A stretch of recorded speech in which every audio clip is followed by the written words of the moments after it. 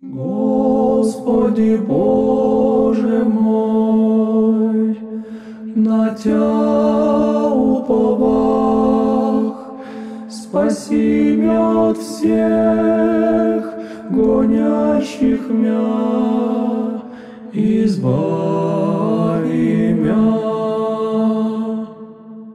Мир вам, дорогие братья и сестры! Сегодня, в воскресенье, за богослужением читается Евангелие от Матфея, глава 14, стихи с 14 по 22. Послушаем это Евангелие в прочтении отца Александра.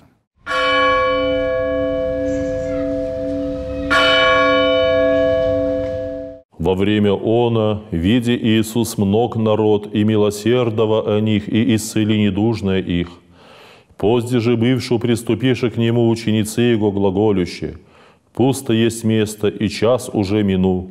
Отпусти народы, дошедшие веси, купят браш на себе». Иисус же рече им, «Не требуют отойти, дадите им вы ясти». Они же глаголуши ему, «Не имам изде, токмо пять хлеб и две рыбе». Он же рече, «Принесите ми их сему» и, повелев народом возлещи на траве, и прием пять хлеб и обе рыбе, возрев на небо благослови, и, преломив даде учеником хлебы, ученицы же народом. Едоша все и насытишася, и взяши избытки у круг дванадесять коша исполни.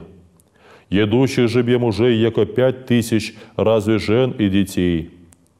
И абие понуди Иисус ученики своя влезти в корабль, и варите его на оном полу, донде же отпустит народы.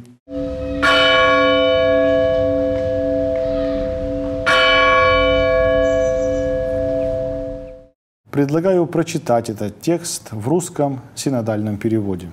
То время увидел Иисус множество людей, и сжалился над ними, и исцелил больных их. Когда же настал вечер, приступили к нему ученики его и сказали, «Здесь место пустынное, и время уже позднее. Отпусти народ, чтобы они пошли в селение и купили себе пищи». Но Иисус сказал им, «Не нужно им идти, вы дайте им есть». Они же говорят ему, «У нас здесь только пять хлебов и две рыбы». Он сказал, «Принесите их мне сюда».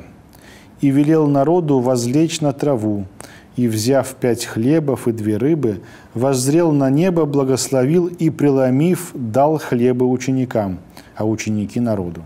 И ели все, и насытились, и набрали оставшихся кусков двенадцать коробов полных, а евших было около пяти тысяч человек, кроме женщин и детей. И тотчас понудил Иисус учеников своих войти в лодку и отправиться прежде его на другую сторону, пока он не отпустит народ.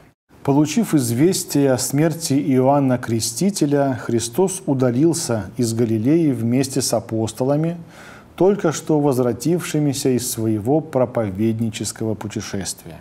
Они переплыли на лодке на восточную сторону Тивериадского озера, в пустынное место близ города Вифсаида, располагавшегося на востоке от впадения Иордана в Генесарецкое озеро.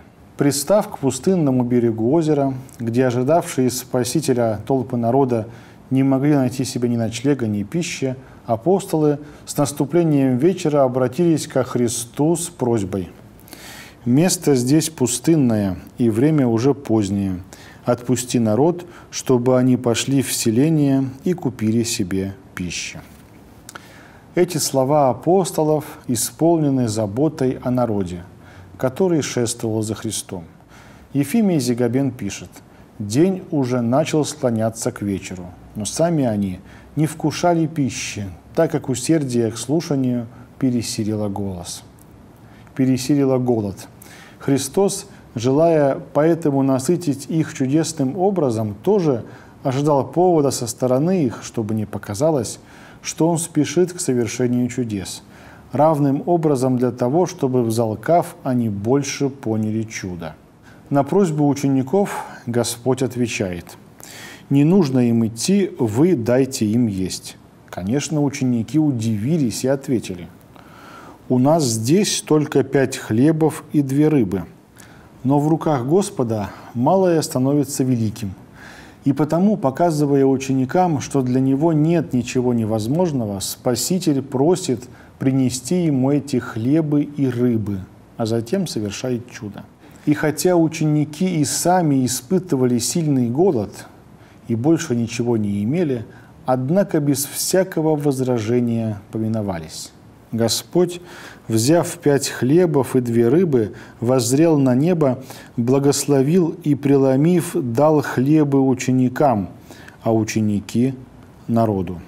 Святитель Кирилл Александрийский поясняет, чтобы Христос был всяческим образом признан как сущий по природе Бог, Он приумножает малое количество и взирает на небо, словно бы прося Вышнего благословения – и Он делал это по домостроительству ради нас, ибо Он, все наполняющий, сам есть вышнее благословение от Бога.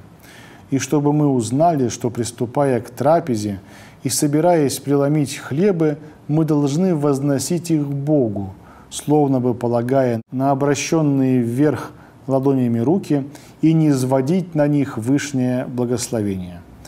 Он домостроительно стал для нас началом и образцом и путем этого дела.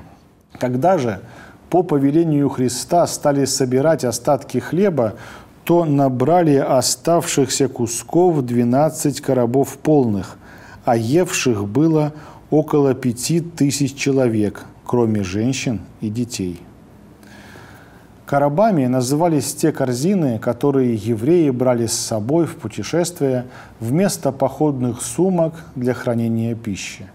Как бы малы ни были эти короба, во всяком случае нельзя было наполнить 12 коробов пятью хлебами, разломанными на куски, если бы количество этих кусков не было чудесным образом умножено. Святитель Иоанн Златоуст замечает, пять хлебов преломил и раздал. И эти пять хлебов в руках учеников не истощались. Но и тем чудо еще не ограничилось. Господь сделал, что оказался избыток, и избыток не в цельных хлебах, а в кусках, чтобы показать, что это точно остатки от тех хлебов, и чтобы не находившиеся при совершении чуда могли узнать, что оно было. Это удивительный духовный закон. Чем больше человек отдает другому, тем больше прибавляется у. И если мы не будем проходить мимо трудностей и проблем людей, нуждающихся в нашей помощи, каждый из нас сможет убедиться в действии этого духовного закона на примере своей жизни. Ведь из нашей малости Господь сотворит с избытком. А потому, дорогие братья и сестры, будем помнить на примере сегодняшнего евангельского события, что все, отданное нуждающимся Христа ради, Господь через свои руки вернет нам во много раз больше, подобно тому, как Он наполнил 12 коробов. Помогай нам в этом, Господь. Господи Боже мой, на Тя уповах, спаси меня от всех гонящих мя, избави мя.